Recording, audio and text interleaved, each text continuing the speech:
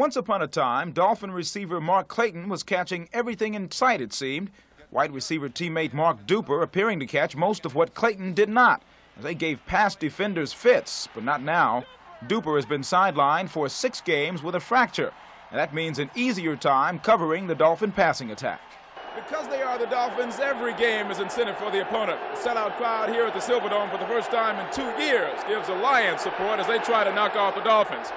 Incentive to try to knock off Mark Clayton, however, is always there. They know where I'm at out there, and they know what I'm capable of doing if they leave one person on me at a time.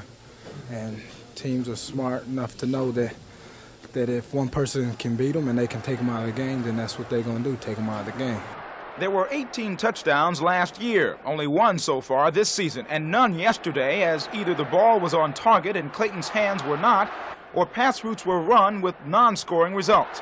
Other Dolphin receivers are making things happen, but not having to worry about Duper and Clayton makes that defensive coverage a lot easier to plan do we want to double cover Clayton and, and uh, single the other guys? And I felt that, that we're just going to play our zone, deep zones, favor one side or the other, but just play zone and see if he can pick us apart.